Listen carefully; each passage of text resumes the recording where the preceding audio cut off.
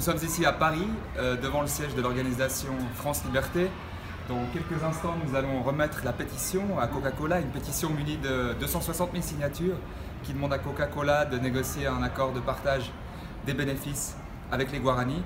Alors la bonne nouvelle, et c'est sans doute à mettre au crédit de la pétition, c'est qu'après avoir longtemps refusé d'entrer en matière, Coca-Cola nous invite aujourd'hui à un dialogue auquel participera aussi euh, le Conseil international de la Stevia, qui est une association qui regroupe les principales entreprises actives sur le marché des édulcorants dérivés de la stevia, notamment Cargill, Pure Circle, mais bien sûr euh, euh, Coca-Cola.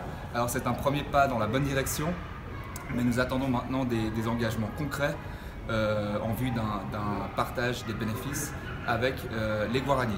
Les Guarani, justement, eux, continuent de se mobiliser. L'année dernière, ils ont adopté une déclaration dans laquelle ils revendiquent leurs droits au partage des bénéfices découlant de l'utilisation de leur savoir.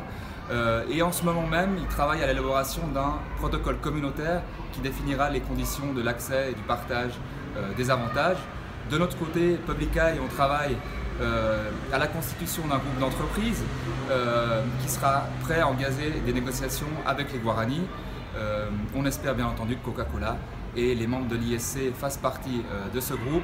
Si tout va bien, les négociations devrait pouvoir commencer à la fin de l'année prochaine, donc fin 2018.